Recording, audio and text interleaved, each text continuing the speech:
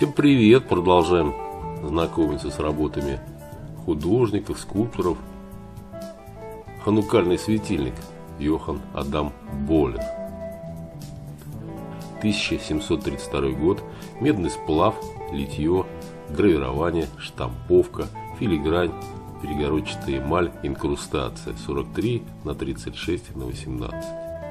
Ханука – зимний еврейский праздник, посвященный восстановлению независимости Иудеи от греческого владычества в середине II века до нашей эры.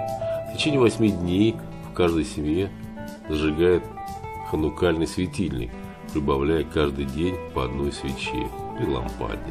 Эта традиция установлена в память о чуде, случившемся когда-то в храме.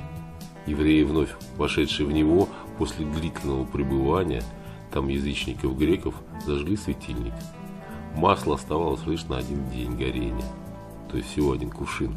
Однако удивительным образом этого масла хватило на все восемь дней, необходимых для очищения храма.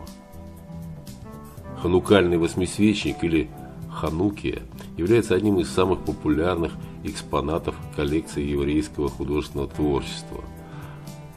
Ханукии встречается в большом количестве и разнообразии.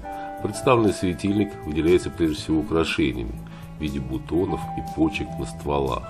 Примечательно, что они роднят его с храмовым светильником Миноры, описанным в Библии. Подобные особенности характерны для светильников из некоторых германских и голландских городов, что позволяет отнести данные к региону северного течения Рейна. Ну вот так вкратце из интернета о ханукальном светильнике Йохан Адам Боллер. Текст по книге «Великий музей мира».